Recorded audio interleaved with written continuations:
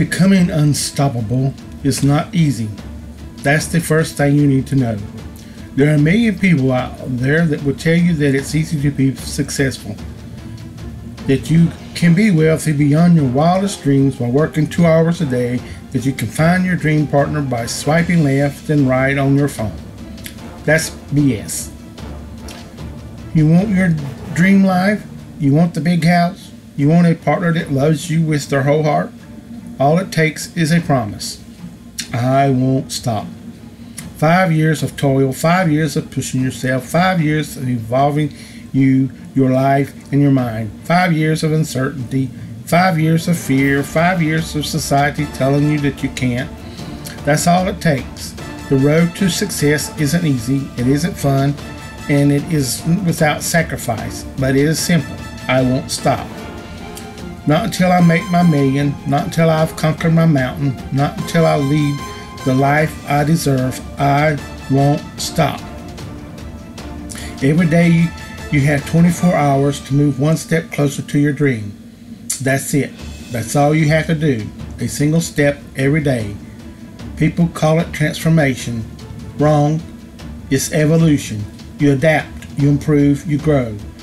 When you make that promise to yourself and keep that promise to yourself, you won't notice it at first, maybe not after the first week, maybe not even after the first month, but one day you'll be sitting at the top of whatever mountain you've decided to conquer and be grateful that you made a three word promise to yourself I won't stop. Another thing to being unstoppable is not to waste time on ego or jealousy. There's a huge difference between self confidence and ego. Self confidence is when you understand your worth and believe in yourself. Ego is when your sense of self becomes overly inflated and you become focused on self interest. Ego and arrogance often closely related to jealousy and resentment. Unstoppable people understand that ego and jealousy operate out of fear.